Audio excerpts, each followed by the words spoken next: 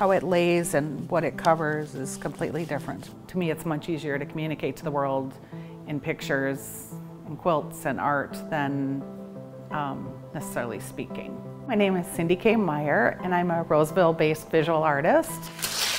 And my main mediums are um, art quilting, painting, and encaustic.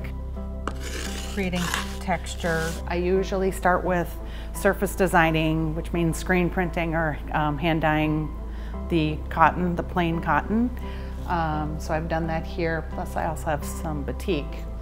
And then proceed to cut it and piece it as, a, as the quilt top, and then continue on designing it. What's powerful to me about this one, I created it using flowers from my mother's funeral.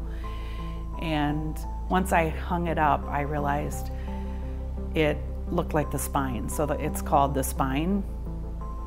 Um, and yeah, it's just, it's a great memory to think of, to honor my mom. And um, she was the one who taught me to sew, so. Too much of this color. Part of it, I think, is just getting back to that playful self as an adult.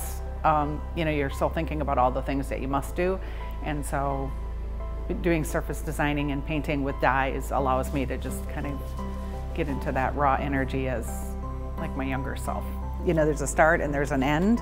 Um, I like this abstract style where you're just responding to it. You're, you're more going for a feeling or emotion and not, I have this definite idea of where it's going. So whenever somebody can pause and just enjoy it, that's just such a an honor. And then if they feel something or a color evokes a meaning for them, that's a bonus.